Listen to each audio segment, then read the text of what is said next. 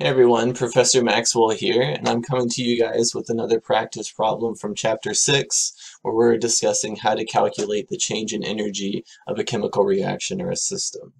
So in these problems, it's really important to understand the wording on the question because we need to know what's happening to the energy in both terms of work and heat energy, and how this is going to affect the total uh, internal energy, or E, of the system. So Remember, delta E means change in internal energy. So if this is positive, that means uh, the system is increasing energy. And if it's negative, that means the system is decreasing in energy. And we can write the total change in energy as equal to Q plus W, where Q is your heat and W is your work.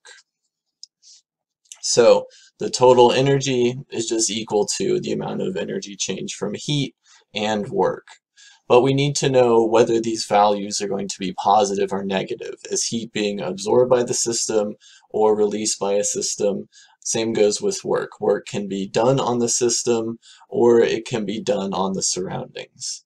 So here we're told that the system is giving off 65 joules or kilojoules of heat, which means that the system is releasing that energy. So Q is going to be negative. So Q is going to be negative 65.0 kilojoules.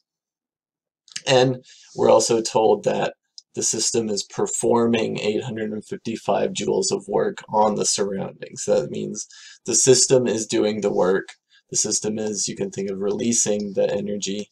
So that's also going to be negative 855 joules if work was done on the system by the surroundings, then work could be positive, but here the system is doing the work, so the work is negative.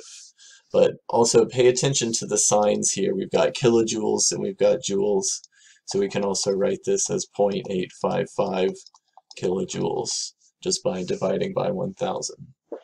Okay, so now that we can uh, plug these two values into our equation, so our delta E is equal to negative 65.0 kilojoules plus our negative 0.855 kilojoules. And when we add these two together, we get negative 65.855 kilojoules. But watch your sig figs here because we only have one uh, significant digit after the decimal place. So we have to round our answer to one significant digit, would give, which would give you 65.9, sorry, negative 65.9 kilojoules, which is our answer here.